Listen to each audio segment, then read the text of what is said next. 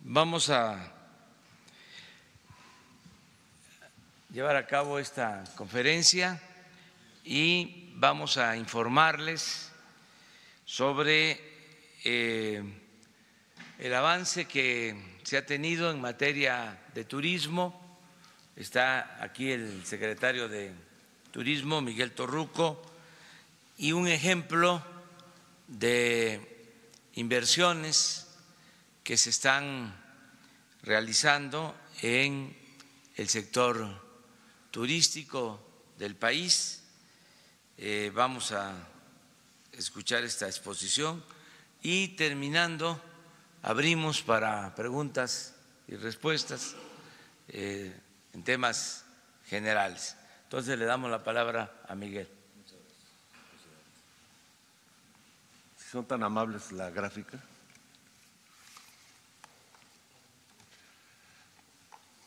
Bueno, eh, en primer lugar quiero presentarles, está Elías Sacal, Marcos Sacal, Henry Sacal, eh, también eh, Marcos Achat, quien es director de Visit México. Y con su permiso, señor presidente, en esta gráfica quisiera invitar a un representante de los inversionistas. Esta inversión es de las más grandes que se haya hecho en un hotel en los últimos 30 años.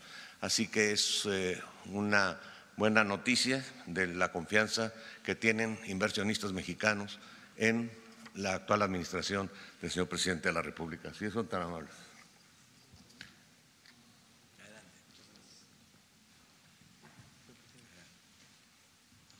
Buenos días a todos.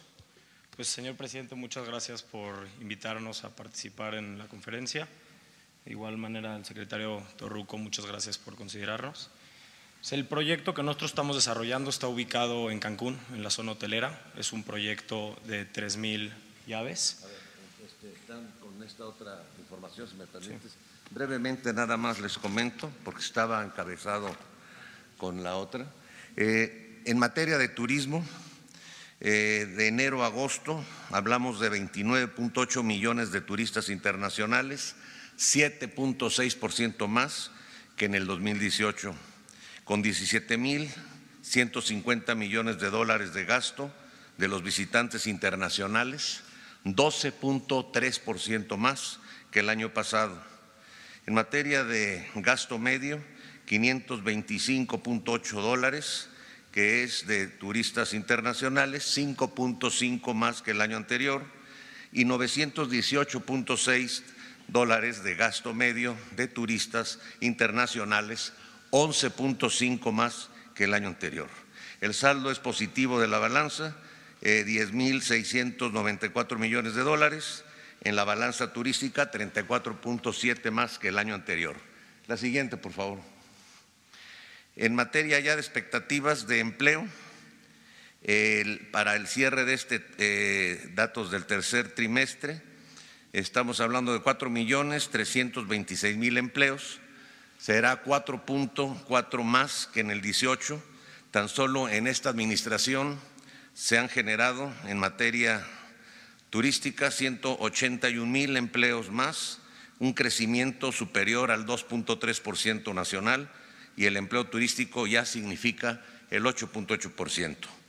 Eh, las expectativas de inversión extranjera directa en turismo, sin incluir el monto que les van a dar a conocer a continuación, es de 624 millones de dólares, 3% más del total de la inversión directa eh, captada en el país, 25% corresponde a inversión hotelera. Este 21.134 millones de dólares acumulados entre el primer trimestre de 99 al tercer trimestre del 19. La siguiente, por favor. De acuerdo a las tendencias ya que llevamos para el mes de octubre, cerraremos el presente año con 43 millones 300 mil turistas internacionales, 4.7% más que en el 2018, con 24 mil 400 millones de dólares de gasto de los visitantes internacionales, 12.13% más, Habrán 23.232 hoteles nuevos, ya en total eh, eh, de los eh, acumulados, con el 3% más, con 830 mil habitaciones, 2.7 más. Ese número de cuartos y de hoteles nos ubica en la séptima posición a nivel mundial en, lo que es infraestructura hotelera. Este año, en la administración del presidente Andrés Manuel López Obrador, se están construyendo 22 mil habitaciones más eh, que en el 2018 y en materia de empleos ya 4 millones 334 mil empleos, 3.6 más que en el 2018. Eh, a continuación, los inversionistas darán a conocer este gran proyecto que ya es una realidad. Muchas gracias, señor presidente.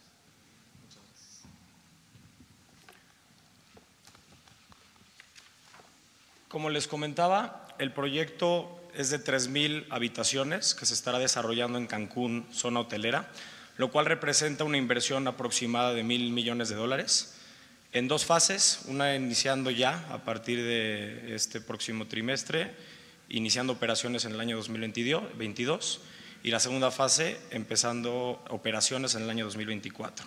Se estima, eh, si pueden pasar a la siguiente lámina. Son algunas de las imágenes de los, de los proyectos que se estarán desarrollando. Se estima una creación de empleos directos durante la construcción y operación alrededor de 7.500 empleos y durante la operación alrededor de 12.000 empleos entre directos e indirectos para llegar a una totalidad aproximada de 20.000 empleos creados durante la vida del proyecto. Estamos, si pueden pasar por favor a la siguiente. El, financiamiento está siendo otorgado en una parte por Bancomext, lo cual reitera el, apoyo que, contamos de, una, un, digamos, de un banco de desarrollo, y dos bancos extranjeros que de alguna forma reiteran su interés en seguir invirtiendo y apalancando proyectos en México. Se estima que durante la fase de la obra la proveeduría nacional hay un enfoque que sea por lo menos del 85% de proveedores nacionales y durante la construcción por arriba del 95% serán proveedores nacionales.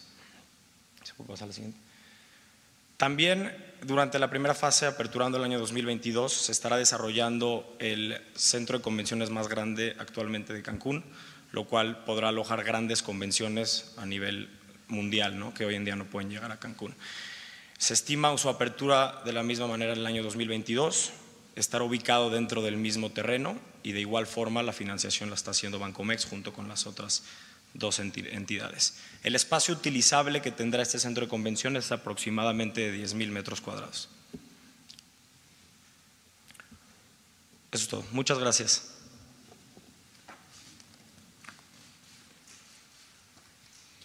Bueno, eh, es muy importante eh, subrayar que vamos bien en lo relacionado con las inversiones en el sector turístico. Eh, no hemos tenido ningún problema, ha habido inversiones, se están creando empleos. Este sector es estratégico porque no solo genera eh, riqueza, sino distribuye la riqueza. Es una actividad que permite eh, ingresos a trabajadores, a transportistas, reactiva por completo la economía. No debe de eh, olvidarse que desde que empezó el auge en el Caribe, en Cancún, en Quintana Roo, pues esa región ha tenido un crecimiento económico eh, permanente.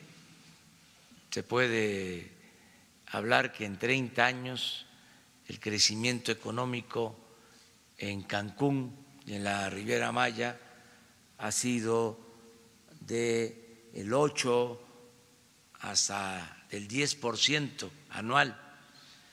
Eh, es lo único que, creció en el periodo neoliberal en el sur sureste, eh, Cancún.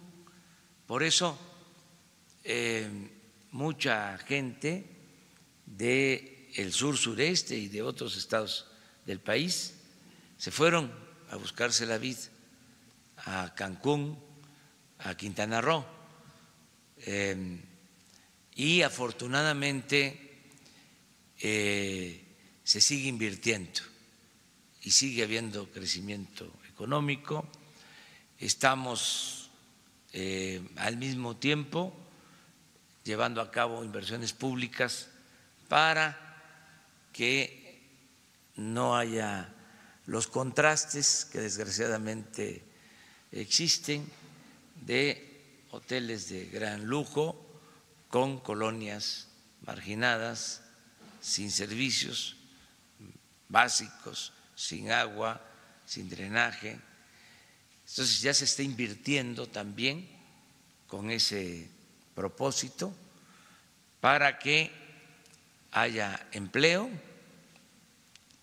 haya bienestar y dos temas que son fundamentales el cuidar el medio ambiente, que se cumplan con los procedimientos legales establecidos para no destruir el territorio, no destruir, en este caso, el paraíso. Estos programas eh, cumplen con todos los requisitos que se exigen en materia ambiental y lo otro que es también muy importante, la seguridad pública. Estamos garantizando de que haya seguridad pública en Quintana Roo y en todas las ciudades, en todos los centros turísticos del país. Es algo muy importante el dar a conocer este proyecto porque también se aprovechó como aquí se mencionó a dar a conocer cómo vamos en inversión en este sector. Sería bueno que eh, pusieran de nuevo la lámina sobre inversión en el sector turístico esto es el resultado que se tiene. Esto es lo que a mí me informó el secretario de Turismo, Miguel Torruco, que está haciendo muy buen trabajo. Significa que no tenemos descensos, que no hay eh, estancamiento en este sector, que es importante.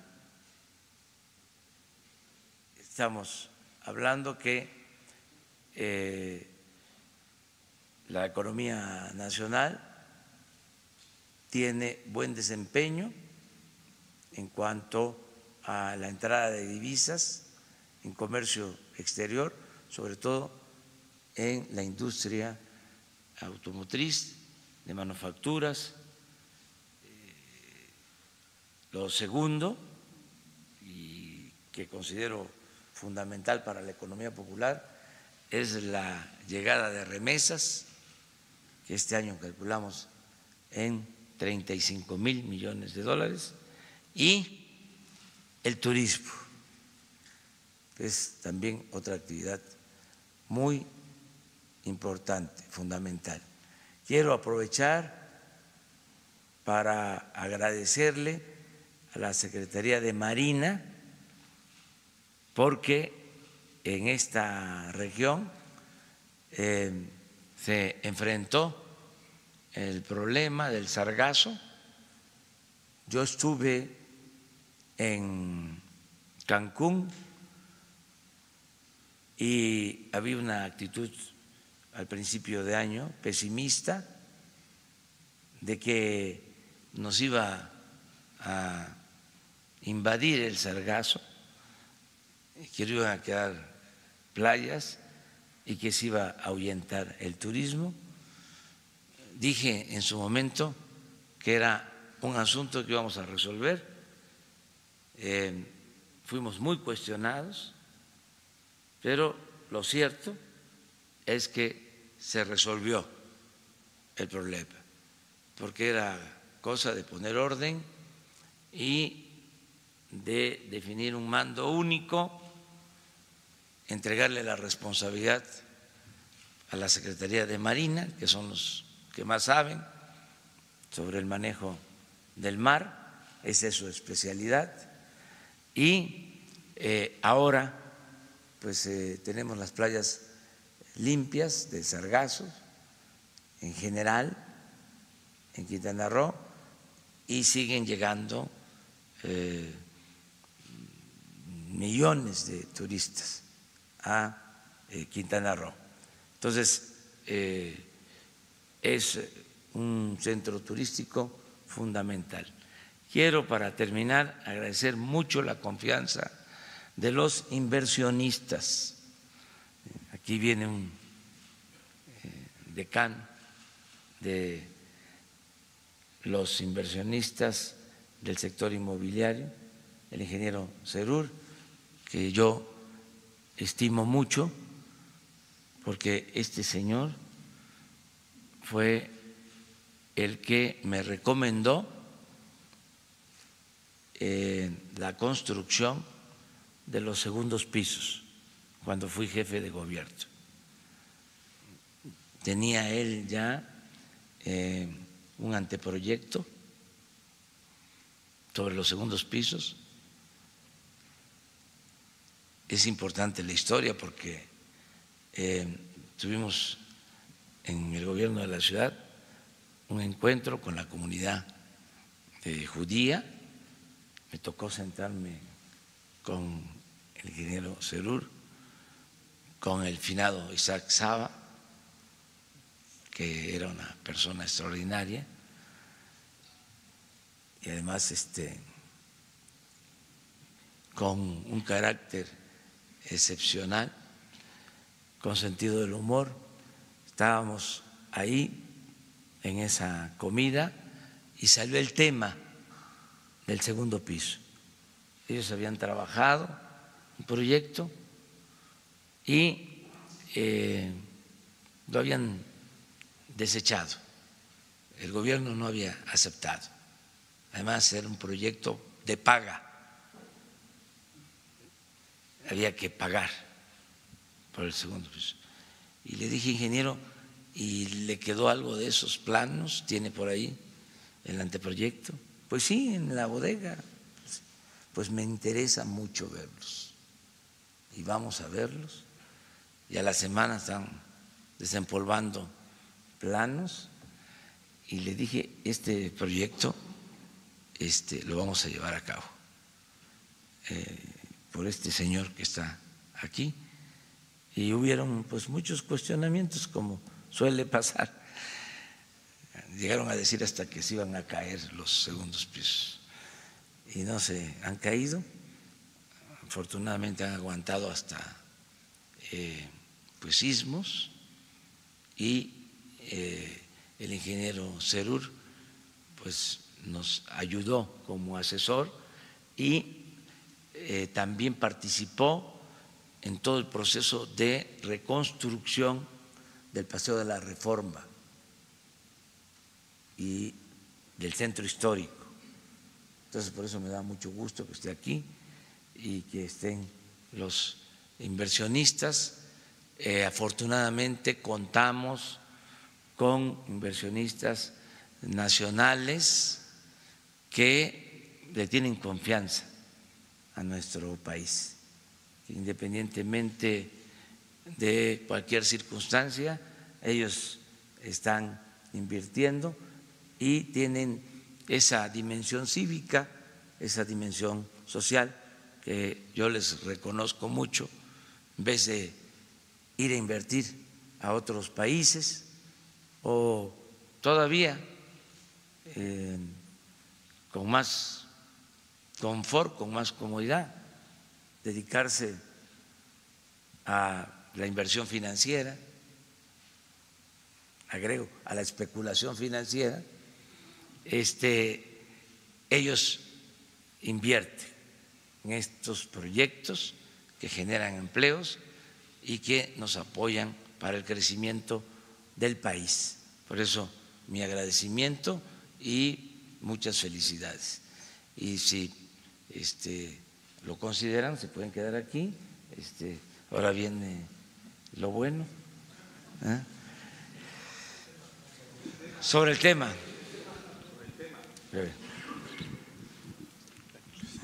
Gracias. Buenos días, señor presidente. Juan Carlos Machorro del portal Expo. Eh, ahorita con estas inversiones, su gobierno, su administración, ¿cómo va a trabajar con estos empresarios para que este crecimiento sea sostenible en la infraestructura que se está creando? Eh, sabiendo que Cancún, bueno, ya tiene muchos cuartos de hotel y toda esta región sigue creciendo. ¿Cómo está haciendo esta sinergia para que sea sostenible el crecimiento y, bueno, sea un paso más para cumplir la Agenda 2030? Bueno, eh, equilibrio, lo he expresado, que haya desarrollo sustentable, que eh, podamos crecer sin destruir el paraíso y eh, garantizando el bienestar de la gente. Miguel tiene muy claro este concepto de eh, qué países en el mundo tienen futuro en materia de turismo. ¿Por qué no lo expones, el concepto? Eh, como lo hemos mencionado, eh, las naciones que mejor preserven su medio ambiente y sobre todo conserven su identidad histórica, cultural y gastronómica serán los países que realmente eh, participen y obtengan los beneficios de este maravilloso sector. Y toda inversión y todos los desarrollos que se están llevando a cabo en la presente administración deben de cumplir los tres preceptos fundamentales de la sostenibilidad en materia turística, que sean inversiones autofinanciables, que se preserve el medio ambiente y sobre todo que se beneficie a la población local. Aquí la generación de empleos beneficia a la región, beneficia a la localidad, inclusive en las compras y en la construcción los proveedores en un 85% son nacionales. Esas son las bondades de la sustentabilidad en la actividad turística. Es todo, señor presidente. Eh, una segunda pregunta, señor presidente, si me lo permite. Eh, ahorita que comentó lo del tema del sargazo, ¿hubo ofrecimientos de grupos empresariales como Grupo Vidanta y otros de colaborar para la limpieza de las playas y todo esto? ¿Sí colaboraron? ¿Cómo fue su colaboración independientemente del trabajo que hizo la Secretaría de Marina y los gobiernos estatales? Gracias. Sí, colaboraron este, hoteleros, invirtieron este grupo de Daniel Chávez, hizo una inversión importante y así otros grupos, pero hacía falta eh, coordinación. Entre otras definiciones, se dice que la política se inventó para poner orden en el caos cuando hay este, desorden, cuando hay eh, anarquía, pues hay que eh, unir voluntades, recursos, definir mandos. Entonces lo que hicimos fue poner eh, como responsable de todo el gobierno para atender este problema al almirante Ojeda, secretario de Marina, un responsable. Así eh, funciona nuestro gobierno no es nada más el asunto jerárquico, eh, ya lo hemos explicado en otras ocasiones. En el caso de la refinación, quien tiene a su cargo la construcción de la refinería y la rehabilitación de las seis refinerías es Rocío Nale, que es secretaria de Energía. Esa secretaría tiene funciones normativas, no operativas, pero Rocío Nale es una profesional, es un cuadro. Entonces, ella es la responsable de la modernización de las refinerías y de la construcción de la nueva refinería. En términos de jerarquías y de estructuras administrativas, pues la refinación depende de Pemex y del director de Pemex, de Octavio Romero Oropés, pero el encargado eh, de la encargada de la refinación, repito, es Rocío. Y el director de Pemex tiene como tarea principal producir petróleo, extraer petróleo, porque nos dejaron una grave crisis de producción petrolera y él está metido por completo en la exploración y perforación de pozos en 21 campos petroleros. Entonces, es división del trabajo.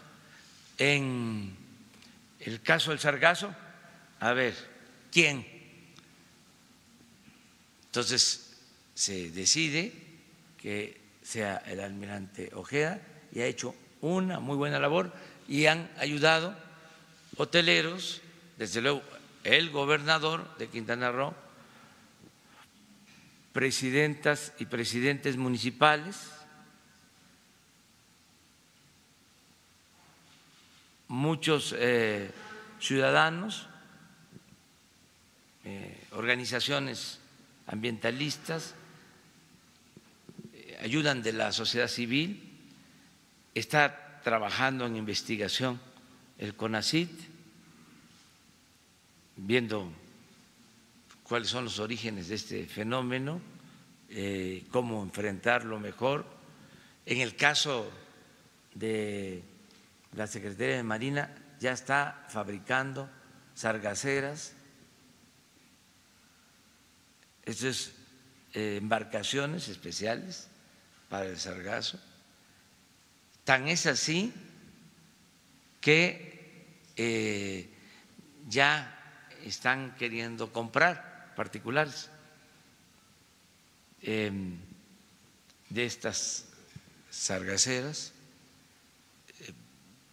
que es una creación de la Secretaría de Marina. Entonces, eh, esto nos ha ayudado mucho. En el caso del turismo, como en todo, pues hay competencia sobre eh, a dónde ir de vacaciones y pues el Caribe en general este, tiene mucha competencia. Sin embargo, se sostiene Cancún y la Riviera Maya como eh, el mejor centro turístico del mundo, en playa. Todo esto se va a complementar también con el tren Maya para aprovechar la afluencia turística que llega a Cancún y que puedan eh, no solo disfrutar de sol y mar, sino conocer las riquezas culturales del sureste, las zonas arqueológicas mayas más interesantes del mundo. Para eso es el tren, que el que llegue a Cancún pueda eh, introducirse a Campeche, a Chiapas, Tabasco, Yucatán y de nuevo a Quintana Roo. Ese es el, el, propósito, que estén más tiempo los turistas en nuestro país.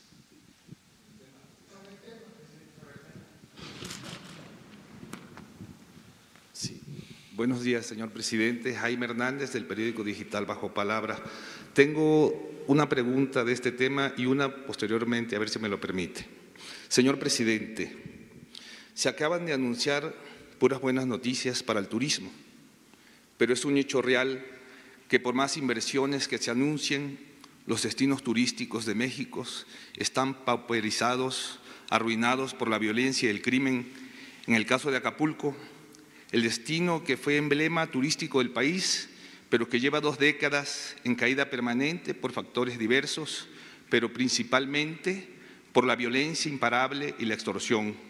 Los turisteros de este destino han dicho que no quieren anuncios de cifras, sino resultados reales. Eh, Cancún va en el mismo sentido. Son destinos que han recibido alertas de estados porque no garantizan la seguridad de los visitantes. La pregunta es, ¿cuál es el plan para devolver la tranquilidad y la confianza para estos destinos pinchados por el crimen? Y se, y se seguirá con la misma estrategia neoliberal de privilegiar las cifras por encima de los resultados concretos, porque la sensación general de las personas que viven en esos lugares no concuerda con las buenas noticias en materia turística. Bueno, nosotros estamos haciendo nuestro trabajo para que haya inversiones y al mismo tiempo garantizar la paz, la tranquilidad en los destinos turísticos de México y en todo el país. Ese es nuestro eh, asunto, nuestra asignatura pendiente, el garantizar la paz y la tranquilidad. Y lo eh, expusimos antier con toda la transparencia. No tenemos nada que ocultar, no vamos a maquillar cifras, eh, no se va a ocultar la realidad. Eso es un error. Hay que este, informar con apego a la verdad. Consideramos que vamos a ir avanzando en materia de seguridad y eh, un signo de que hay confianza de que se van a resolver los problemas, en este caso de inseguridad, en los destinos turísticos, pues son estas inversiones. Si eh, no existiese confianza, esa palabra que es importantísima para la economía, para las inversiones, pues eh, no se estarían comprometiendo estos recursos.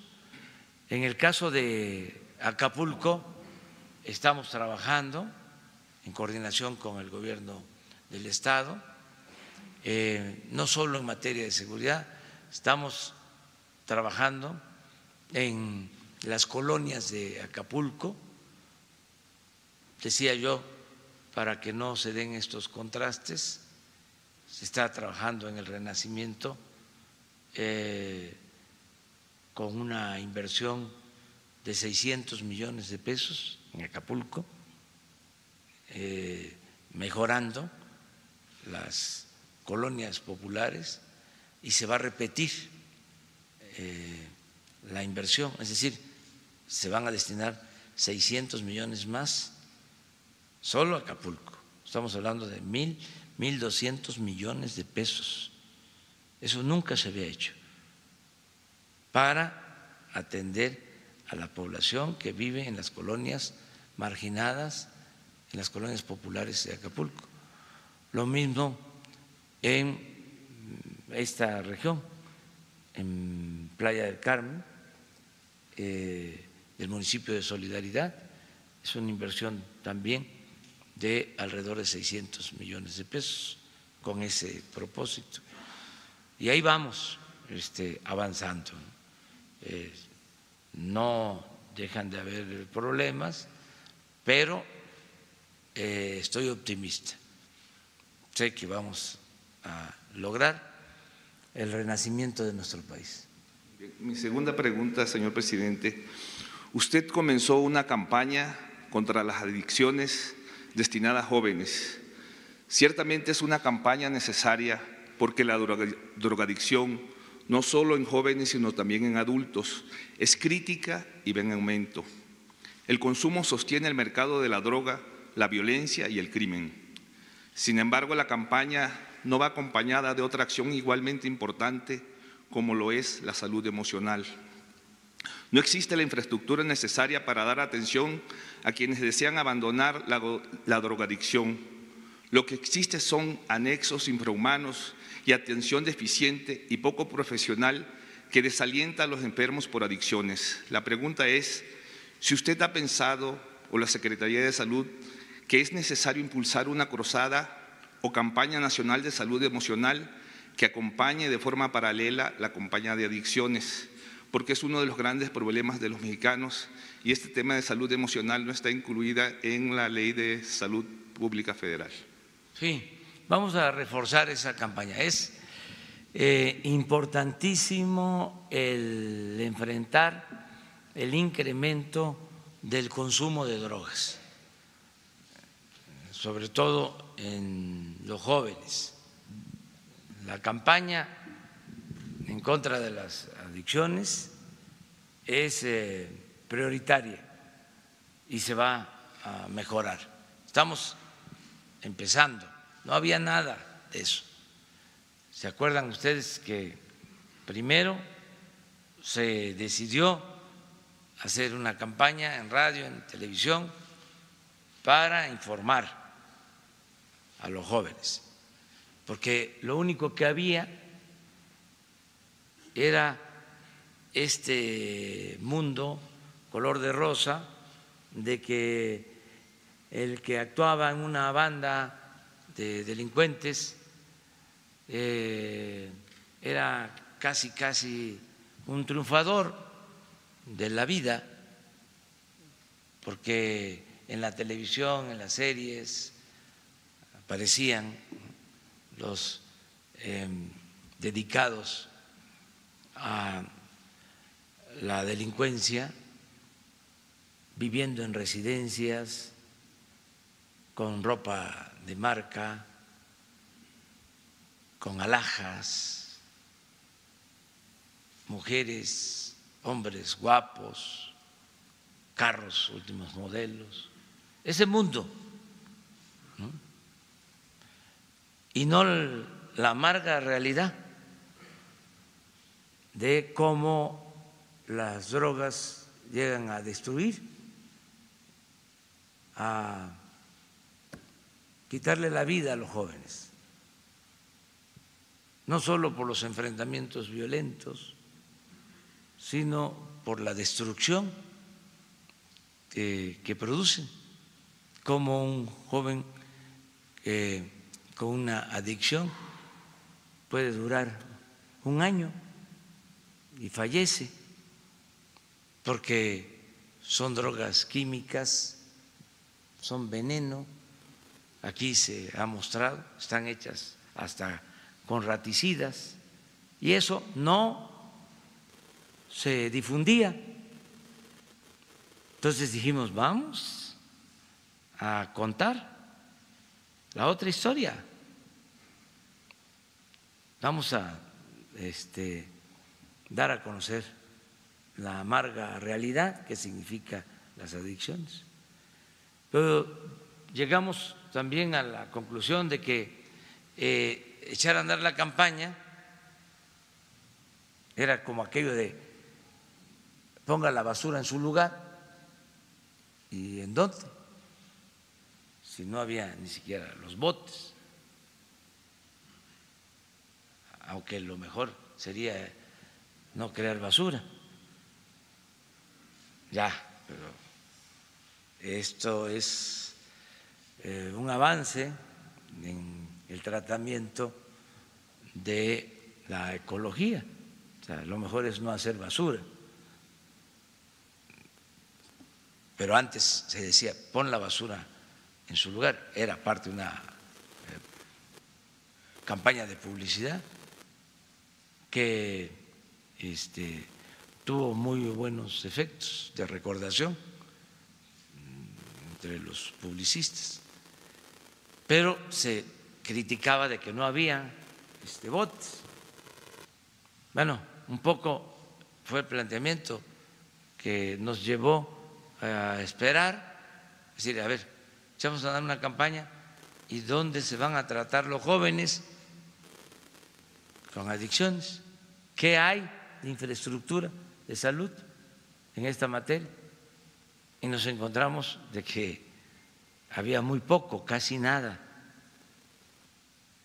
Entonces, se detuvo la campaña de publicidad o no inició hasta tener pues eh, una infraestructura básica de atención a los jóvenes. Por eso ya inició y ahora eh, estamos fortaleciendo esto que tú planteas y lo vamos a seguir este, em, procurando eh, toda la parte emocional, informativa. Eh, ayer visité el hospital número 79 del IMSS Bienestar, ya nada más vamos por uno, nada más vamos a ir a Tlajiaco el viernes, ya terminamos de recorrer los 80 hospitales. Y es muy importante porque en todos estos hospitales tienen un programa que se llama cara de jóvenes que se reúnen con una psicóloga, un psicólogo, son 20 espacios en 19 estados del país y tratan cuatro asuntos, cuatro temas, eh, los embarazos no programados, no deseados, eh, el rechazo a la violencia, la buena alimentación y eh, combatir la obesidad y eh, el no eh, permitir que los jóvenes caigan en adicciones. Son tres, cuatro acciones muy importantes. Y ahí están los jóvenes. se tiene ya esta infraestructura, se va a reforzar mucho estamos viendo cómo eh, todo el que quiera ayudar en esta campaña lo puede hacer. Yo salgo a veces, me encuentro a una psicóloga, creo que esa es su profesión, jovencita, que anda en una bicicleta, y siempre que salgo, ahí va en la bicicleta atrás y me entrega sus documentos, me hace cuestionamientos sobre este programa en particular y me dice, no va a funcionar, le propongo esto, esto, esto. Estoy leyendo sus textos, aquí aprovecho para decirle, este, y eh, todo el que tenga algo que aportar es bienvenido para fortalecer esta, esta campaña. Entonces, comentarles eso, ¿no? De que sí eh, va a ser cada vez mejor esta campaña y se toma en cuenta eh, todo aquello que consideremos importante, porque es fundamental, fundamental el detener eh, el crecimiento en el consumo de drogas y detener y reducir el consumo de drogas. Sobre el tema. Vamos, a ver. Buenos días, soy Penilei Ramírez de Univisión. Eh, tengo dos preguntas, una es sobre el tema y otra es sobre otro tema. Eh, el gobierno de Estados Unidos ha dicho que el tráfico de fentanilo desde México se ha convertido en una de las principales causas de muertes por sobredosis allá. Eh, primero, si usted sabe qué es el fentanilo y segundo, qué está haciendo su gobierno para combatir la producción de fentanilo en México y su tráfico de México a Estados Unidos. Y después tengo una pregunta de otro tema. Bueno, se está trabajando en ello, es este, una sustancia química que se utiliza para hacer una droga que causa mucho daño. Eh, son laboratorios que se instalan de manera clandestina para crear eh, una droga que sí es destructiva por completo y estamos nosotros haciendo un trabajo, un esfuerzo eh, mayor para eh, no permitir este tráfico de droga. Se están destruyendo laboratorios constantemente. Eh, ahora se informó del avance que se tiene, ya han manifestado los del gobierno de Estados Unidos su preocupación por este tema, se les ha atendido, se les ha informado de lo que estamos haciendo, como también nosotros les hemos eh,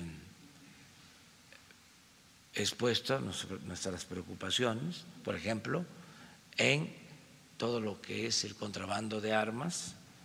O sea, estamos trabajando de manera conjunta, pero no es nada más de allá para acá.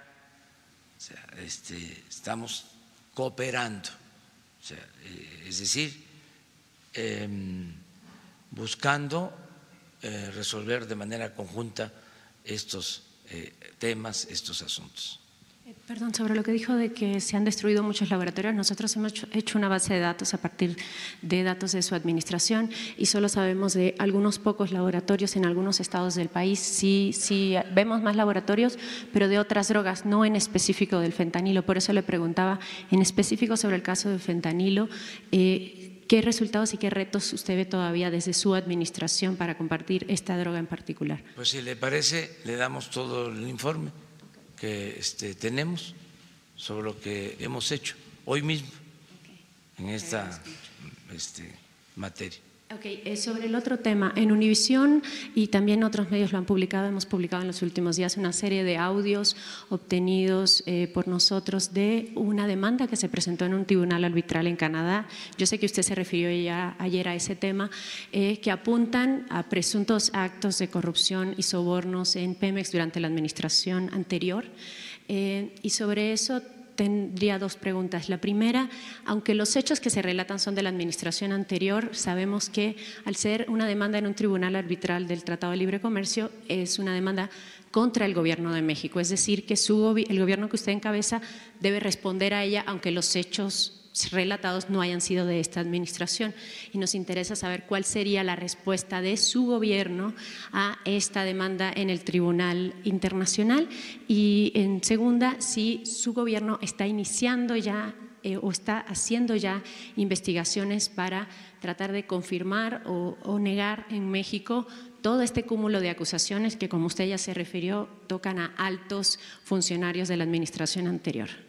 Sí, lo hemos denunciado permanentemente. Este, Pemex eh, era una de las empresas de la nación más eh, afectada por la corrupción, las instituciones más saqueadas, con eh, el pretexto, la excusa de la política neoliberal, porque hay que, debemos de contextualizar. Esto se produjo eh, porque se alentó la privatización en Pemex y en eh, la política económica, impuesta, por cierto, desde el extranjero. No hay que olvidar que las llamadas reformas estructurales se definieron en el extranjero, reforma energética, reforma fiscal, reforma laboral, reforma educativa, era la agenda que imponían desde el extranjero, con el visto bueno, eh, incluso con em, la protección de los grandes medios de comunicación, periódicos y televisoras que apoyaban este, toda esta política. Nunca se dieron cuenta de que se estaba saqueando a México. Al contrario, este, quien se oponía a esa política era descalificado. Eso lo padecimos nosotros. Ahora, eh, ante los hechos desastrosos, ante el fracaso de la política económica neoliberal, pues se empiezan a dar a conocer los casos de corrupción. Este es un asunto eh, que pues ya se conocía, lo hemos denunciado durante mucho tiempo. Ahora eh, aparecieron estos audios y eh, se les está dando difusión, pero es un asunto de años atrás. Le agradezco todo este contexto, pero mi pregunta es cuál va a ser la respuesta de su administración a la hemos demanda. hecho, acabar con la corrupción. Pero en Este, concreto a la demanda, Tenemos una este, querella, hay un- una eh, denuncia eh, con esta empresa Oro Negro, que ahora resulta este, sí, justo por eso, porque ser- ellos son investigados en México y ahora demandan allá, ser entonces por eso preguntaba. ofendida. Exacto. Eh, resulta que este, eh, tiene una demanda en contra de Pemex y nosotros estamos respondiendo a esa demanda. Sí O sea, están respondiendo. Para nosotros, para decirlo con toda claridad, son iguales.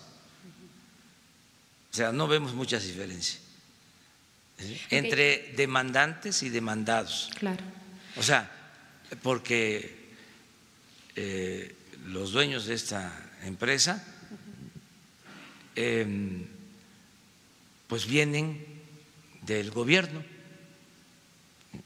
El director de esta empresa eh, es hijo del que fue secretario de Hacienda de el presidente Fox. Eh, y si usted este, ve los antecedentes, pues va a saber qué hizo este secretario de Hacienda durante el gobierno de Vicente Fox. Entonces, eh, él eh, o su hijo ¿sí? Es una de las partes ofendidas, es el que contrata, de acuerdo a la información periodística, a una agencia de investigación eh, extranjera para llevar a cabo una investigación, intervienen teléfonos y escuchan eh, conversaciones, eso es la información que yo tengo.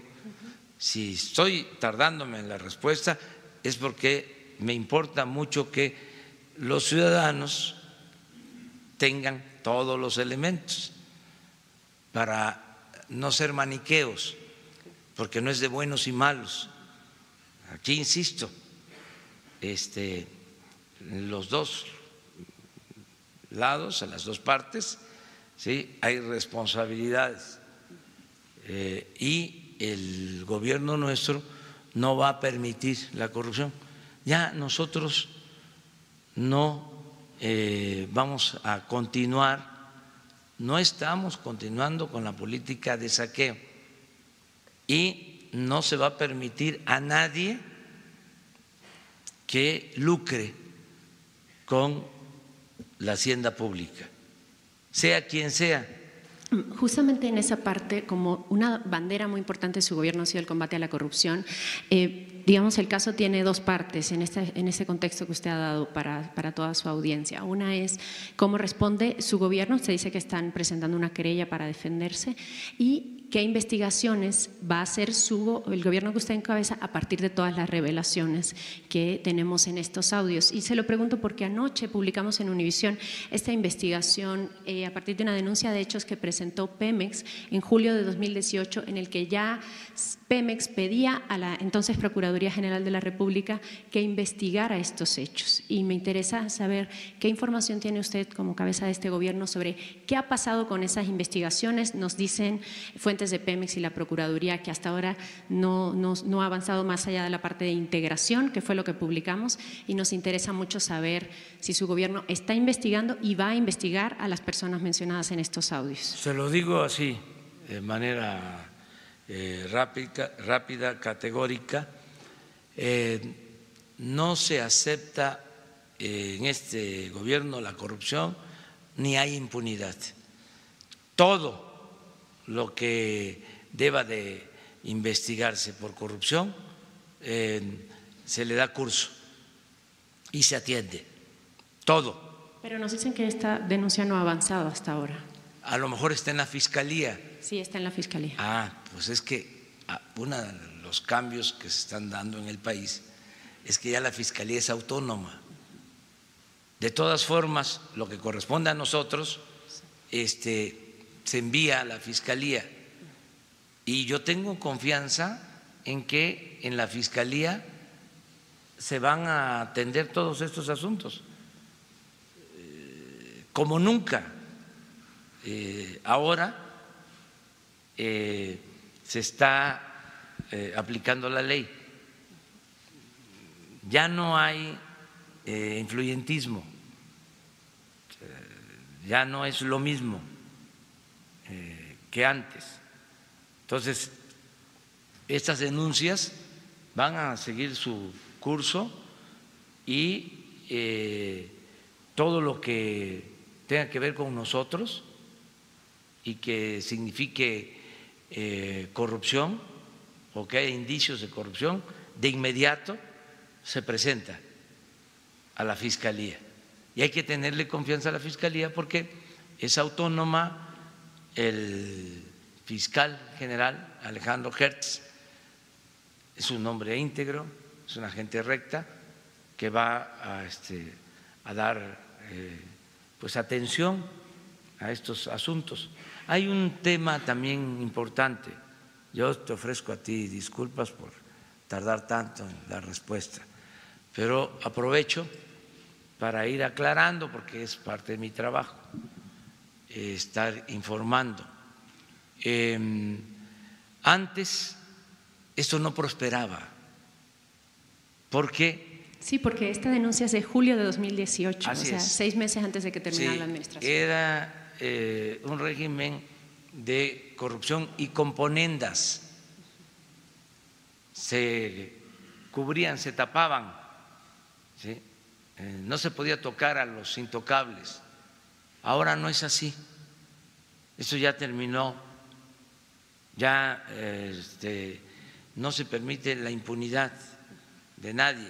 Me imagino que usted habrá visto que en los audios también incluso se menciona, es un indicio todavía, ¿no? Pero se menciona incluso la, posibilidad de que haya existido una suerte de financiamiento ilegal a la campaña de Peña Nieto. Y quisiéramos saber si eso también estaría investigado por su pues administración. pero es como estar descubriendo este, el agua tibia. O sea, ¿usted este, sabía que hubo financiamiento ilegal en la campaña? Claro, lo tengo escrito, lo denuncié este, y todo el mundo lo sabe. ¿Y su administración podría investigar también esto? Todo lo que este, se deba de investigar eh, con la autoridad competente. Si están este, abiertas investigaciones, adelante. Yo sostuve al inicio del gobierno, cuando tomé posición, que no íbamos a iniciar pues eh, una persecución contra de nadie, porque se acostumbraba a hacer eso, eh, actos espectaculares, para legitimarse. Bueno, usted sabrá que muchos de sus críticos han dicho que su administración ha ido contra varios funcionarios, pero no contra Peña Nieto. Es que dijimos que nosotros no íbamos a iniciar ninguna este, investigación eh, contra los expresidentes, tendríamos que llamar a cuentas a Salinas, a Cedillo, a Fox, a Calderón y a Peña Nieto. Y yo planteé de que eso eh, no era conveniente, que lo mejor era ver hacia adelante y poner un punto final,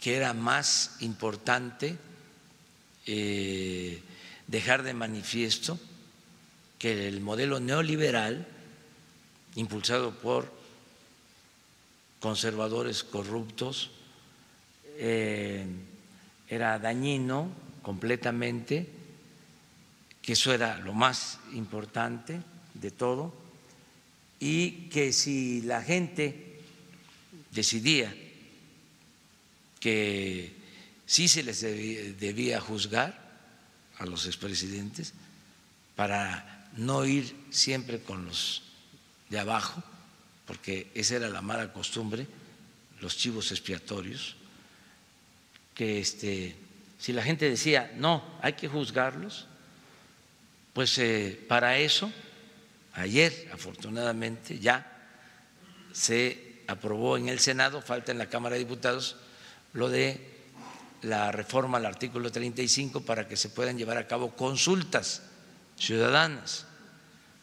En este caso, si este, se aprueba esta reforma y la gente dice, vámonos a la consulta para juzgar a los expresidentes, este, yo tendría que obedecer a los mexicanos, obedecer a los ciudadanos. No, el pueblo manda.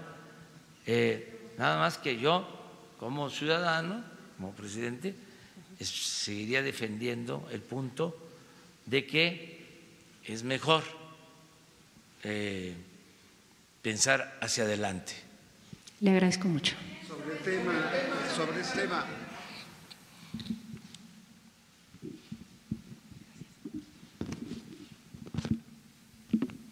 Buenos días, presidente. Me presento. Soy Jocelyn Gutiérrez de Político.mx. Eh, tomando un poco el tema de mi compañera, usted mencionó que sí había denuncias contra Carlos Romero de Champs. Nos gustaría saber si nos, más bien si nos puede precisar este, sobre qué irían estas, estas denuncias, sobre qué delitos. También algunos medios publicaron que usted nunca quiso reunirse con el líder petrolero. Nos gustaría saber qué tan cierta es esta información y si nos permite realizarle una pregunta más, por favor.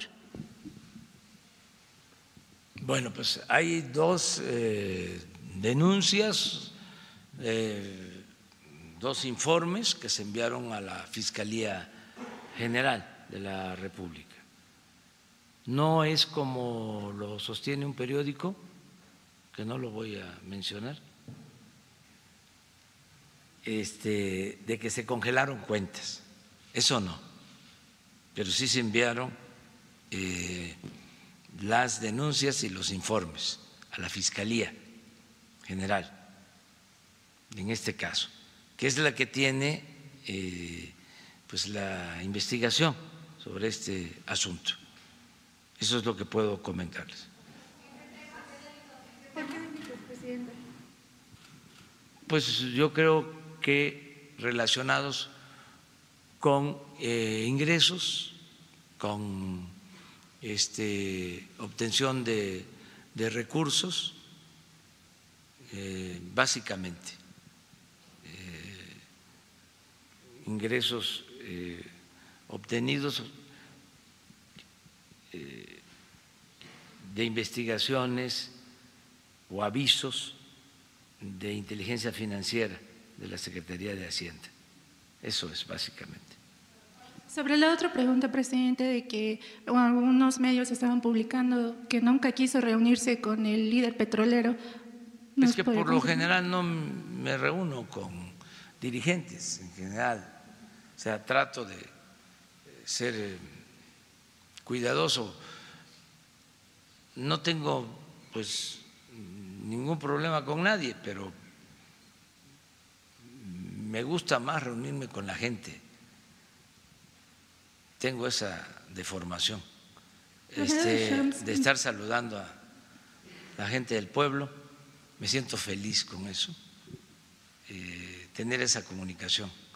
Eso me mantiene. Eh, ayer estar en San Luis Potosí, en Villa de Ramos, en Los Hernández, inaugurando un hospital con la gente, luego en Pinos, en Zacatecas. Eso es para mí muy importante. Y este pues también por mi trabajo tengo que reunirme con dirigentes y con empresarios y con personalidades de la cultura, del arte, pues con todos, pero no se dio este, la oportunidad de que yo me reuniera con el señor de Chávez. ¿Él nunca pidió una audiencia con usted? No, no, yo no lo he visto, no recuerdo, pero creo que nunca lo he visto. O sea, este, nunca nos hemos. Visto. Como última pregunta, presidente, ayer la secretaria de Gobernación, Olga Sánchez Cordero, declaró que ve como presidenciables a la jefa de gobierno de CDMX, Claudia Sheinbaum, y a la funcionaria, funcionaria perdón, Irma Herendida Sandoval, por mencionar algunos de los perfiles que ella mencionó. ¿Qué opina usted de esto? Pues que tiene todo su derecho de manifestarse. Este, además es mujer y pues hay una solidaridad este, de género, o sea, explicable, además somos libres, todo mundo este, puede manifestarse. Eso del tapadismo, del dedazo, de que el que se mueve no sale en la foto, todo eso es ya este, historia, pues ya este, es para el anecdotario y hasta para la picaresca política. Es bueno que los jóvenes este, conozcan todo esto, cómo era lo del tapado. El primer tapado que hubo, ya lo expresé en una ocasión, fue Manuel González. El primer tapado de Porfirio Díaz, que lo destapa es Porfirio Díaz. Hay una anécdota después pues, de los tapados, que cuando Echeverría iba a decidir sobre quién iba a ser el candidato, estaba el ingeniero Rovirosa, que era secretario de Relaciones, digo, de Recursos Hidráulicos, y dio a conocer siete posibles. Don Jesús Reyes Heroles era presidente del PRI y le reclamó, le dijo, así como yo no me meto en los distritos de riego, usted no debe de meterse en los distritos electorales, porque el ingeniero Rovirosa dio a conocer cinco, seis, siete, en aquellos tiempos, ¿no? Este, y al final, pues este, eh, se destapó, así era, a López Portillo. Y hay historias de esto. ¿no? este, el dedazo, eh, temas que no se podían tratar, pues todo eso es ya del régimen, vamos a decir, antidemocrático. Ahora pues que todo el mundo se exprese y se manifieste y diga lo que piensa y doña Olga pues es libre completamente, como todos. Eh, no hay este, ninguna recomendación.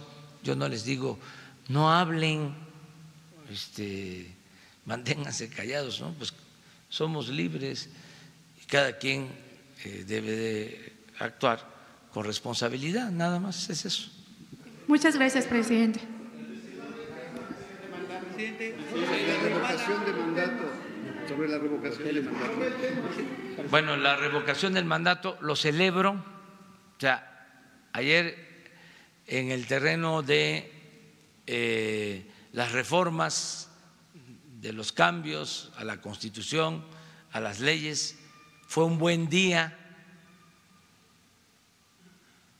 porque eh, el Senado aprobó eh, dos reformas constitucionales.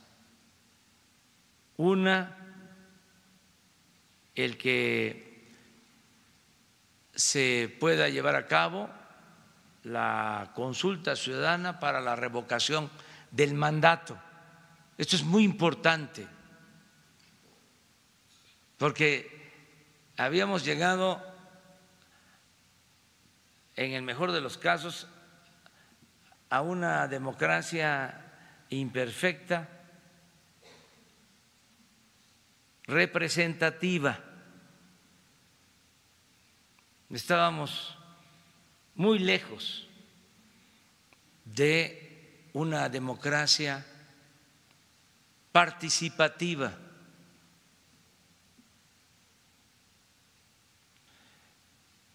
Porque se elegía por tres, seis años y ya, aunque la autoridad electa se desempeñara mal, aunque se demostrara de que era ineficiente y corrupto, mediocre y ladrón, un gobernante, se le tenía que aguantar seis años.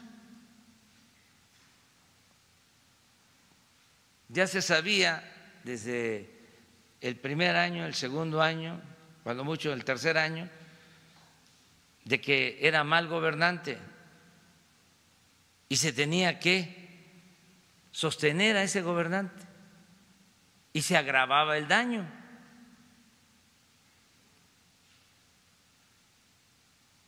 Entonces, ahora el ciudadano puede, a la mitad del mandato, decidir si continúa ese gobernante o renuncia. El pueblo pone y el pueblo quita.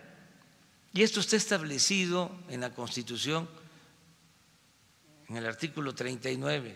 El pueblo tiene en todo momento el derecho de cambiar la forma de su gobierno. Pero era una entelequia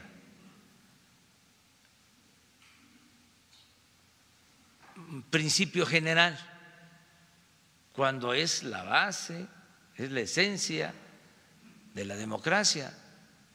El pueblo debe de tener en todo momento las riendas del poder en sus manos. Entonces, por eso es todo un acontecimiento el que se haya aprobado esta reforma porque se le va a preguntar a la gente si quieren que continúe el presidente o que renuncie. Esto es un avance. Los conservadores, que siempre se distinguen por la hipocresía y por el doble discurso, piensan que todos somos como ellos. Y que esto se está haciendo para buscar la reelección, cuando es todo lo opuesto, es darles la oportunidad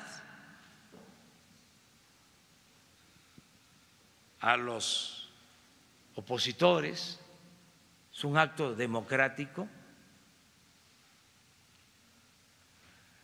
de primer orden.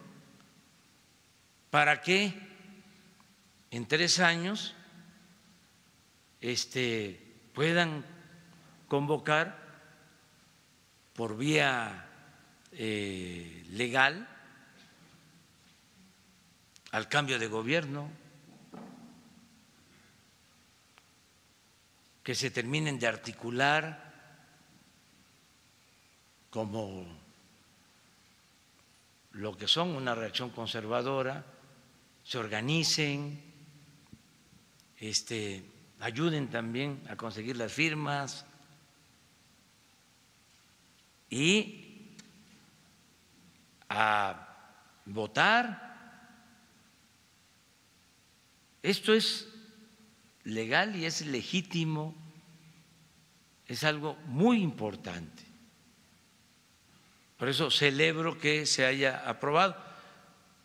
Em, no quieren que el presidente sea el que convoque, pero no me impiden para que yo le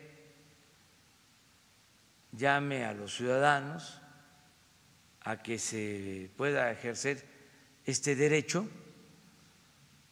y que los ciudadanos se organicen, reúnan las firmas y se lleve a cabo la consulta. Sí, eh, estoy de acuerdo. Debieron eh, dar más facilidades. Por ejemplo, eh, 3% del el padrón o de los ciudadanos. Considero que es bastante. Debieron eh, reducir el porcentaje. De todas maneras, estamos hablando de más como de dos millones quinientos mil ciudadanos que tienen que firmar, pero debieron ponerla más fácil. para juntar las, las firmas. Y lo otro, también eh, ponen eh, muy alto el porcentaje de participación para que la consulta eh, tenga validez. Es decir, este que eh, aplique. Creo que eh, están solicitando 40% de participación. Entonces, debían bajarle este, un poco. Eh.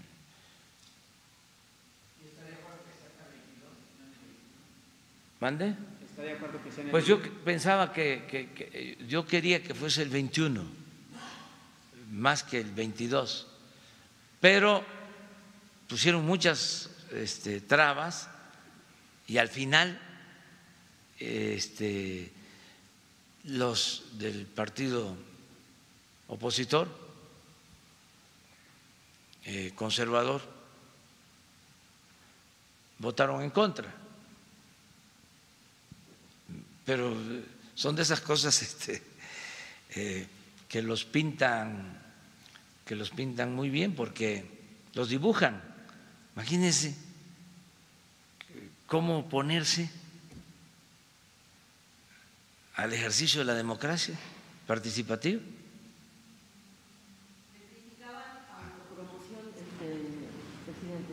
Pero, eh, ¿cuál no va a haber elecciones. O sea, primero eso, de que sí va a ser el mismo día de la elección y que tenían que ser boletas separadas. Le dije, está bien que no sea el mismo día, que sea antes. Este, yo sostengo que a los dos años ya se sabe, antes se sabe si es bueno o es malo un gobernante. O sea, ya es este, suficiente tiempo, más en un proceso de transformación. Luego se propuso que fuesen después de las elecciones, en noviembre del 21, no, que hasta el 22. Pues adelante del 22, pero que quede establecido, porque esto es muy importante Imagínense, ¿por qué soportar seis años a un mal gobernante? Que así como nuestros opositores dicen que está mal el gobierno, pues eh, va a haber esta posibilidad. Se reúnen, ¿no? además que no conspiren, que este, actúen con transparencia, que den la cara, que ejerzan sus derechos y que se organicen, que este, digan queremos cambiar el gobierno y de manera pacífica y legal, sin sobresaltos, se logra este cambio. Y lo mismo, lo mismo, la autoridad, si gana, el que se quede, pues va a gobernar, eh, en este caso, en el último tramo, con fortaleza. Porque si no, imagínense que los eh, afectados con el combate a la corrupción, porque eso es lo que está en el fondo, se alían, manejan mucho dinero. Y eh, hay una campaña de desprestigio, este, se debilita la autoridad. Entonces, así son los ciudadanos, es el pueblo el que va a resolver. Ahora me llama la atención, eh, hablando de otro tema, pero que sucedió también ayer, de que la Coparmex se opone a la reforma para combatir la falsificación de facturas. A ver, a ver, espérenme, espérenme, espérenme. Eh, ya, ahorita vamos a entrar al tema. Me llama muchísimo la atención cómo una organización empresarial va a estar en desacuerdo, cómo este, se va a estar apoyando la falsificación de facturas. Pues este, lo que están demostrando es que ellos eh, estaban de acuerdo con estos ilícitos. No estoy hablando de todos los empresarios, ¿eh? me refiero a la actitud de los dirigentes que se comportan, la vez pasada lo dije, parece un sector de un partido, así como antes,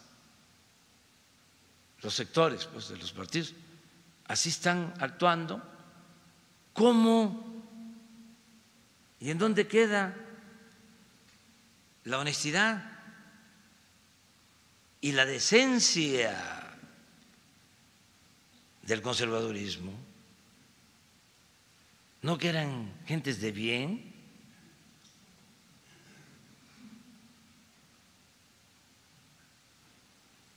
No los que estaban evadiendo los impuestos eran los de la economía informal, los ambulantes, los franeleros, los viene-viene, me dejó anonadado este, este asunto. A ver, a ver. Buenos días, presidente. Tanto la Coparmex como el Consejo Coordinador Empresarial eh, dicen que su inconformidad se debe a que tuvieron mesas de trabajo en los últimos días, solicitaron algunos cambios y no se tomaron en cuenta. Esa es principalmente la inconformidad. Dicen que tal como se aprobó ayer sería una persecución para los buenos contribuyentes. No, al contrario. El que nada debe, nada teme. En la ley se puede decir que es delito grave el falsificar facturas, el crear empresas fantasmas para evadir impuestos. Pero si ellos no falsifican facturas, si ellos no constituyen empresas fantasmas, ¿qué les va a preocupar?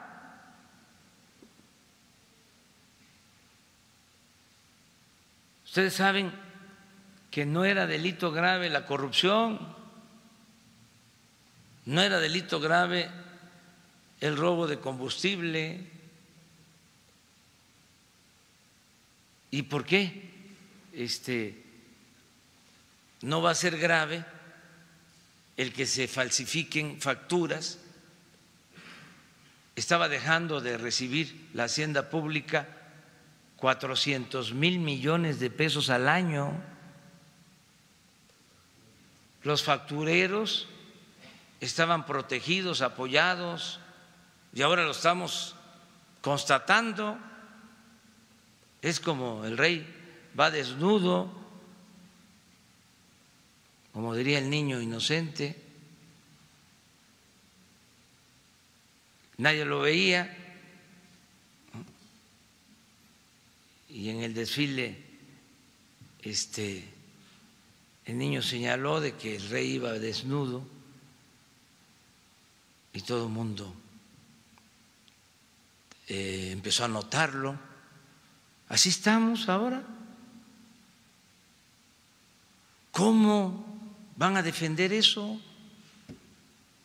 Es increíble.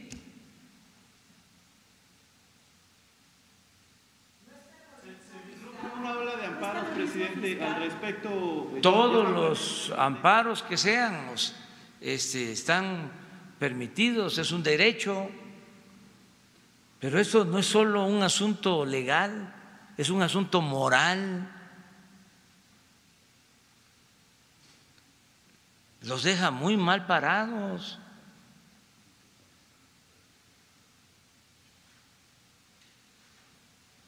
Imagínense que estén defendiendo facturas falsas.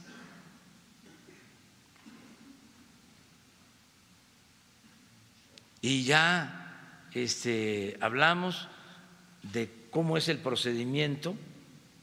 Si puse el ejemplo del podio, pero puedo poner el ejemplo del micrófono.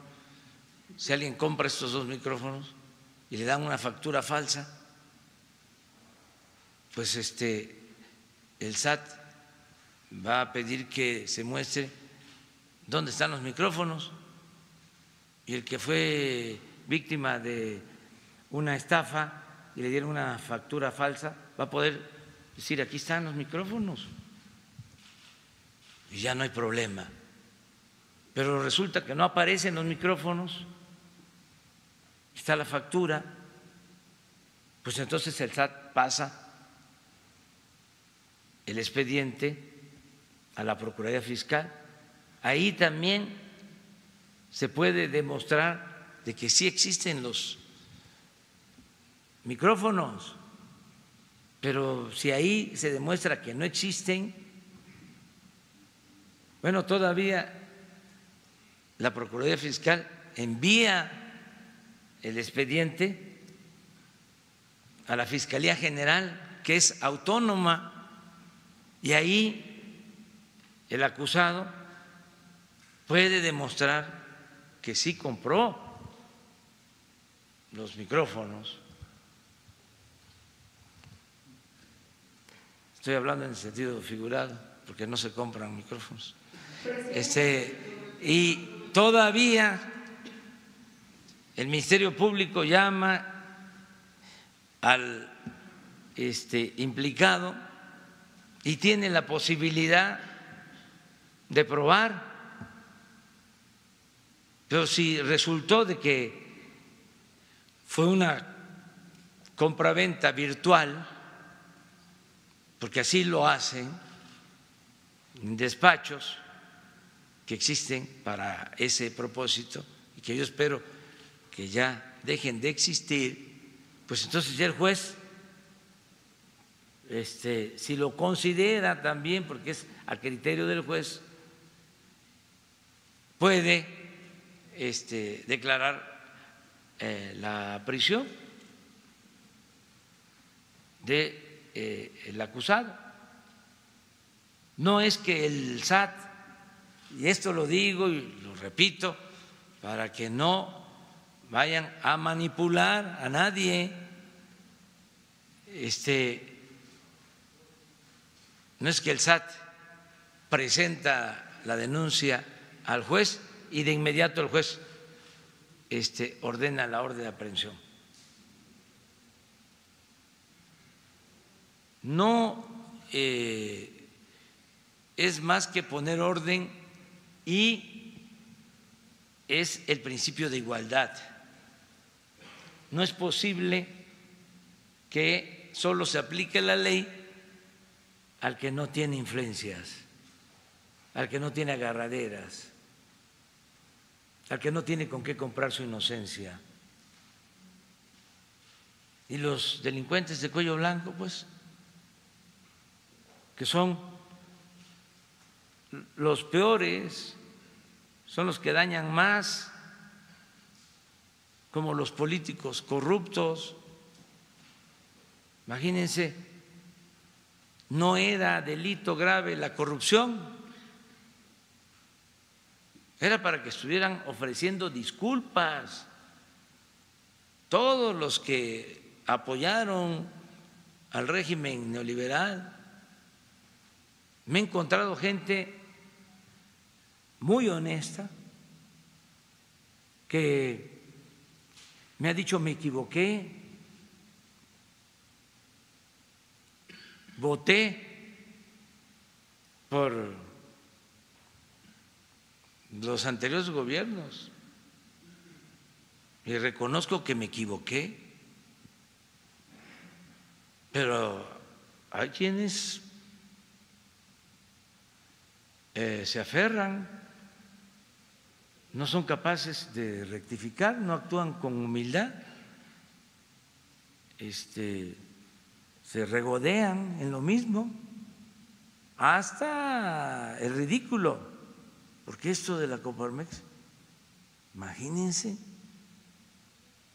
Pero no solo la también está el Consejo Coordinador Empresarial que ha estado muy ligado a su gobierno. Pero ellos, ellos eh, lo plantean de otra manera.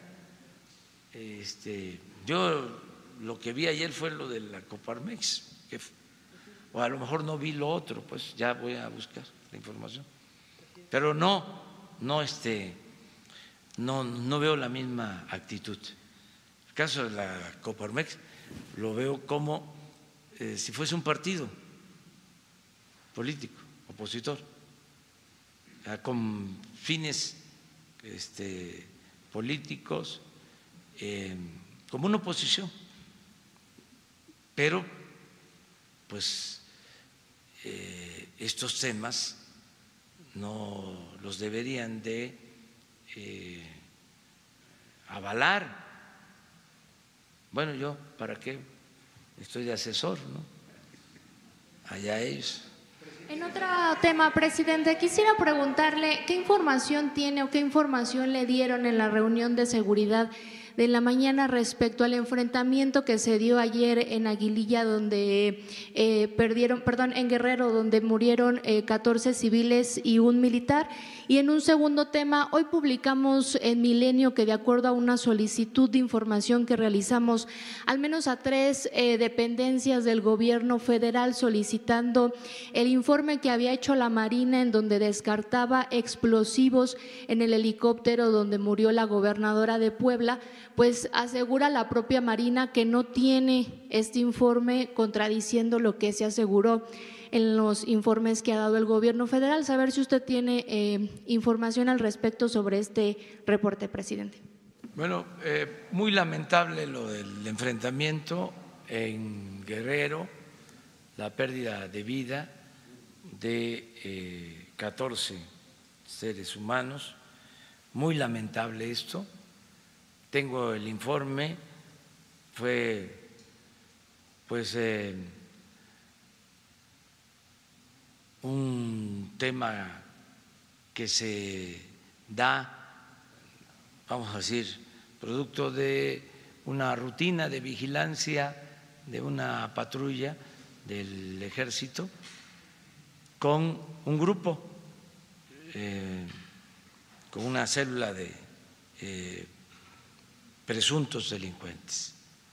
Y eh, se encuentran frente a frente, le disparan a eh, un cabo que va adelante con la ametralladora, el que va encabezando el convoy, y lo hieren, él es el que al final pierde la vida, y él con la ametralladora, este, todavía herido, dispara y este, le quita la vida a eh, los agresores. Ese es el informe que tengo. Eh, desde luego la autoridad competente tiene que llevar a cabo la investigación. Es muy lamentable que esto pase. No queremos enfrentamientos, no queremos la violencia. Vuelvo a hacer un llamado a que se abandonen las armas. No queremos este, que con la violencia se resuelvan los problemas. Hace falta eh, la paz para el país, lo vamos a lograr, además que son inercias, este, se dejó crecer mucho este problema y vamos a, a buscar resolverlo. ¿Se aumentó la presencia de seguridad en esta zona, presidente? En todo el país estamos este, protegiendo, garantizando la seguridad de eh, los mexicanos. Ayer que estuve en Villa de Ramos, en Pinos, me entrevisté ayer con tres gobernadores. Me esperó, porque volé a Aguascalientes, me esperó el gobernador de Aguascalientes, me acompañó un tramo y hablamos, y hablamos del tema de la inseguridad. Y luego, pues el gobernador de San Luis y luego el de Zacatecas. Y en esa zona donde fui, están, padeciendo de inseguridad y este, ya la Guardia Nacional va a actuar ahí. Entonces, constantemente estamos atendiendo el que haya garantías a los ciudadanos. Me piden que este, se garantice la seguridad. Me lo pidieron ayer en Los Hernández, en Villa de Ramos, me lo piden en Pinos. Eh, y donde voy en unos lugares más, en otros menos, también lo debo de decir, y estamos atendiendo esto todos los días. Sobre el informe de la Marina, presidente del helicóptero. Este, el que tiene el informe eh, es el ingeniero Jiménez Espriu, acaba de informar. La SCT dijo que no existía. Pues eh, si ellos dicen que no eh, existe, así es. Aquí informaron que sí lo tenían, presidente. Hay que este, pedirles más claridad sobre la información. Lo que sí les puedo decir son dos cosas. Una, que nosotros tenemos el compromiso de no mentir, no robar y no traicionar al pueblo. Lo, lo, segundo es que no tenemos nada, nada, nada que ocultar. Que toda la información que se tenga al respecto se va a proporcionar. ¿Pediría a la Marina que entregue este informe entonces? Sí, a la Marina, a la Secretaría de Comunicaciones, eh, a quien corresponda. No somos iguales.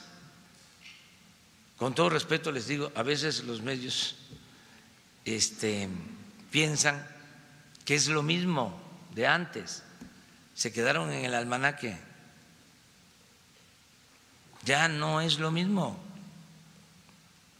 O sea, imagínense nosotros haciendo chanchullos, este, ordenando, eh, no des esta información, eh, guárdala, no nos vayan a cachar.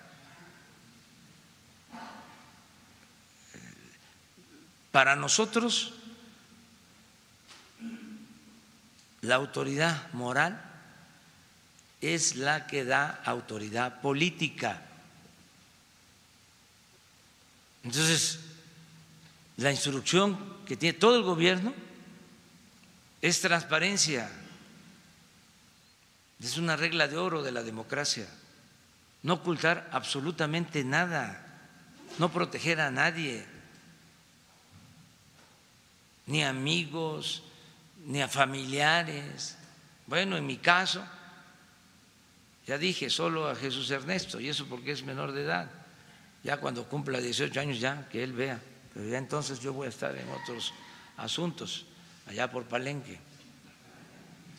Gracias. Presidente, presidente, presidente, dos datos. Los muertos de Aguililla en Michoacán todavía no aparecen en las estadísticas de la Comisión Nacional de, No. Seguridad. Hoy, este, y tampoco este, los que perdieron la vida ayer, porque están haciendo las carpetas de investigación. O sea, este, no se registraron eh, ni ayer ni hoy, porque se están haciendo las carpetas de investigación. Incluso en el caso de Michoacán, eh, se están reconstruyendo los hechos, todo lo que se hace. em, se está em, sabiendo que fueron dos enfrentamientos, o sea que antes de lo que pudo ser una emboscada, hubo un enfrentamiento donde perdieron la vida tres policías, primero, y luego este, fue la pérdida de eh, más elementos de la Policía Estatal. Entonces, todo eso se está viendo. Eh, hay una investigación en la zona, mm, se está trabajando, y por eso no se ha este, registrado. ¿Está abierta la licitación y la contratación para el tren Maya? ¿Cómo? Sobre el tren Maya, sobre el tren Maya está abierta la licitación, Sí. está abierta la contratación de personal porque hay gente que quiere trabajar en la zona, pero no están enterados sobre eh, cómo llegar a el tren Maya, o sea, llegar Bueno. a la construcción. Eh, el responsable de esta obra, les hablaba yo al principio de eh, los responsables de obras, de acciones, de programas, que no son cargos, sino encargos. En este caso es el arquitecto Rogelio Jiménez Pons, este, de Fonatur, el responsable de lo del tren Maya. Ese es otro este, asunto también vinculado a Miguel. Eh, el secretario de Turismo es, vamos a decir, la cabeza del sector turístico, eh, administrativamente hablando. Y el responsable del tren Maya es el director de Fonatur. Así se decidió. Eh, pueden buscar a Rogelio Jiménez Pons. ¿En qué etapa está lo del tren Maya? Se está haciendo eh, eh, la ingeniería de proyecto en el tren Maya. Lo está haciendo una empresa española que ganó la licitación eh, y va a tener para el 13 de diciembre ya el proyecto de ingeniería básica. Con ese proyecto de ingeniería básica ya vamos a tener elementos para lanzar eh, las convocatorias, hacer las licitaciones para que participen las empresas en la construcción del tren. Ese es el procedimiento. De acuerdo a estudios de especialistas, México en el 2021 dicen va a ser la tercera potencia mundial en turismo. Entonces, creo que la, la, inversión es muy interesante por parte de la gente aquí presente, pero como defensor de las tradiciones de México, quisiera que no se perdiera eh, los usos y las costumbres, porque da la casualidad que con la globalización se están perdiendo esas tradiciones. ¿Qué van a hacer al respecto para que no se pierda? Porque eh, inclusive en las zonas hoteleras, en algunos hoteles de lujo, son tan eficientes que no sales del hotel, te quedas en el hotel y, no conoces nada de la zona. ¿Cómo va a ser el turismo interactivo para que se conozca la riqueza, la grandeza que tenemos en México? Por favor. El, Eh, en lo- especialista. Gracias. No puedo decir experto. Gracias. En lo que concierne al tren Maya, van a haber 17 estaciones y eh, hay 195 atractivos turísticos ya detectados. Por parte de nuestra Dirección General de Producto Turístico, ya estamos integrando lo que serán los paquetes para que haya mayor diversidad. Hoy en día, de acuerdo a estudios de la Organización Mundial de Turismo, el turista ya no solamente quiere llegar a un lugar, sino quiere conocer inclusive regionalmente eh, eh, los lugares, estar eh, con el mismo esfuerzo de viaje, conocer más lugares. Entonces, por un lado, se está ya integrando el producto y por el otro también se está haciendo que las estaciones tengan la identidad histórica y cultural y que también exista ahí la villa mexicana totalmente tropicalizada para que pueda eh, también promoverse la venta de artesanías de la región y que también la gastronomía sea regional. En el mismo tren también, en el restaurante que tendrá el tren, porque van a ser tres conceptos, el de pasajeros para los empleados, para que hagan menos tiempo y más cómodos a su lugar de trabajo, también de carga, pero el tren turístico tendrá también eh, todos los lujos para el turista que pueda eh, degustar eh, la comida regional de lo que son los estados del sureste de este país. Muchas gracias. En una reciente entrevista que se hizo con Nancy Rodríguez de Oro Sólido, precisamente se habló, se entrevistó a la agregada cultural de la India. Ella comentó que en su tiempo y en su momento compara su gobierno con Mahatma Gandhi. Dice que están tratando el mismo tema de la paz, que son momentos muy difíciles para México, pero que su gobierno va encaminado a ese, eh, a ese tema y lo compara con Mahatma Gandhi. ¿Qué piensa usted al respecto y cómo va a enfrentar esta situación tan difícil del país en la seguridad? Por favor. Bueno, estamos este, buscando la pacificación de México. Se va a lograr. Estoy optimista. Pueden decir mis críticos de cómo sostengo de que vamos a lograr la paz después de lo sucedido ayer en Guerrero o antier en Aguilillas, Michoacán. Yo sostengo que estamos trabajando bien este, y que eh, van a haber buenos resultados y eh, lo vamos a hacer con un nuevo paradigma. No vamos a utilizar la fuerza. Ayer me lo preguntaban precisamente sobre la letalidad. Dije que no vamos a regresar a ese modelo. ¿Qué es la letalidad? Es cuando eh, son siempre más los muertos que los heridos y que los detenidos. Es cuando hay eh, un afán de exterminio, en donde se remata a los heridos. Eso, eh, duele decirlo, pero es la verdad, se practicó en México.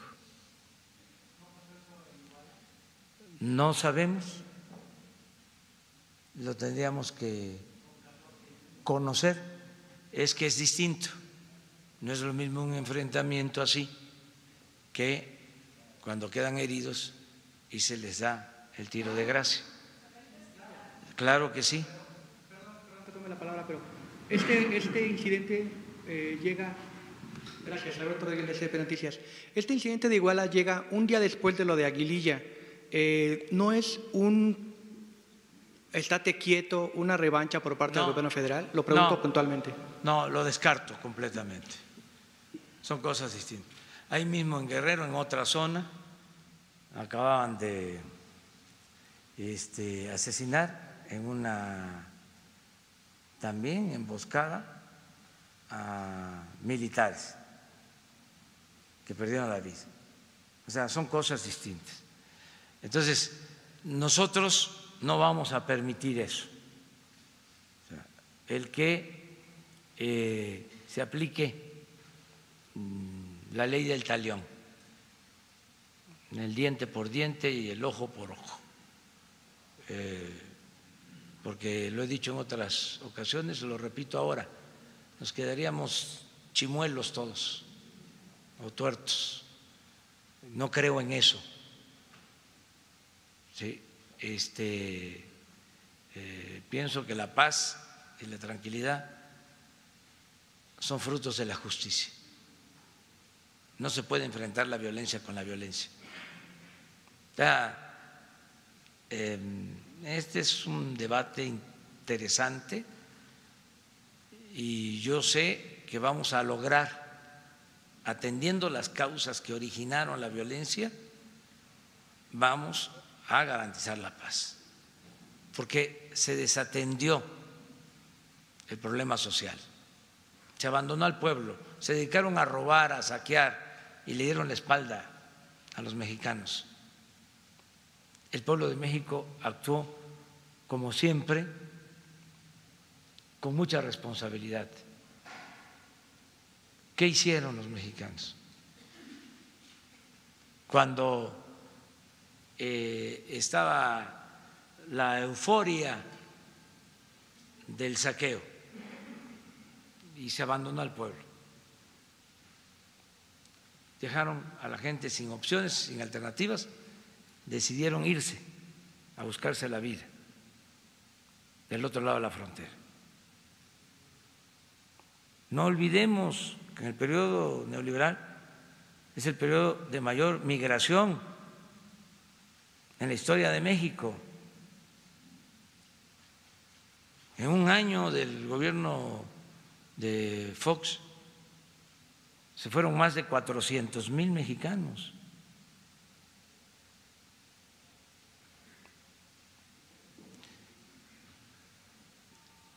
Fíjense qué actitud tan responsable. Ahora hasta nos ayudan nuestros paisanos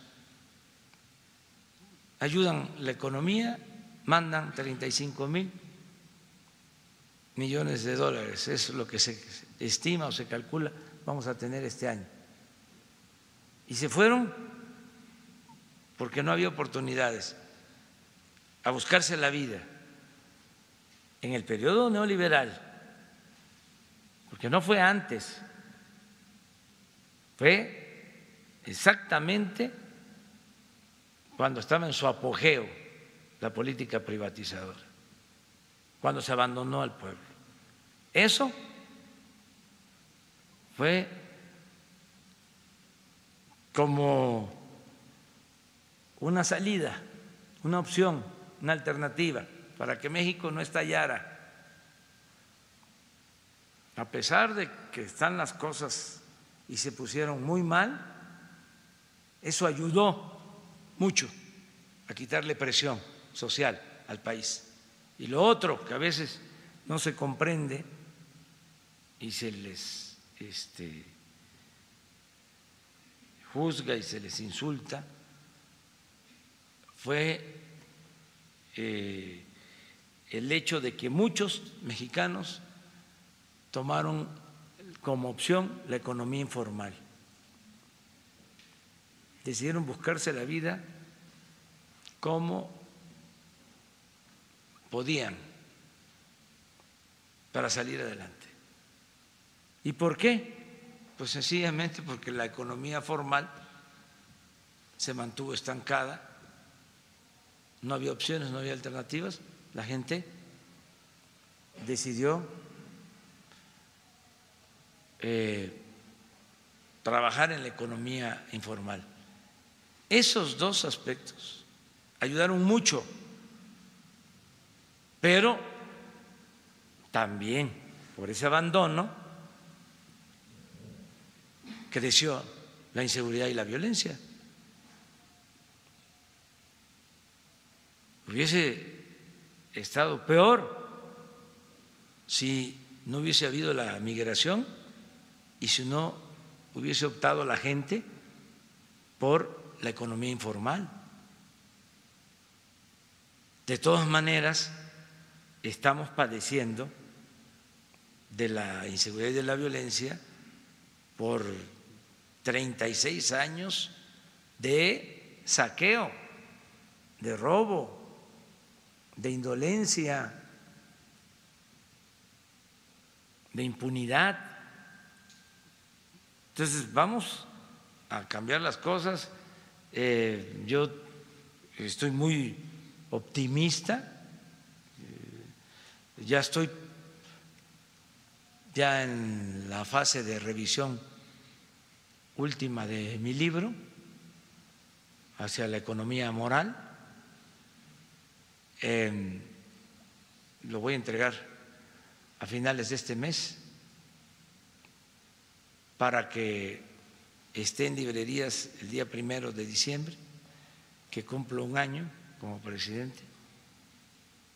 Voy a tratar mucho sobre estos temas estoy eh, optimista, estoy seguro de que vamos a lograr la transformación del país porque hay eh, empresarios como los que están aquí ahora que vinieron a dar a conocer cómo están apostando por México, cómo este, van a invertir, crear empleos y muchas felicidades a estos empresarios con visión social, con dimensión cívica.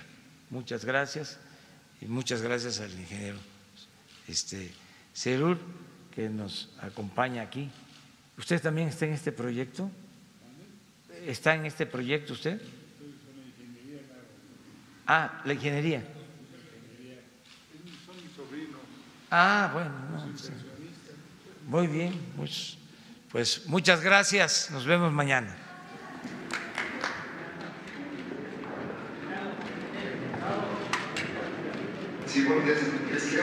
Eh, informar que en un momento va a iniciar una conferencia para presentar la tercera semana de vacunación y del inicio de la vacuna de influenza. Con el subsecretario de Salud, sí, ahorita. Después.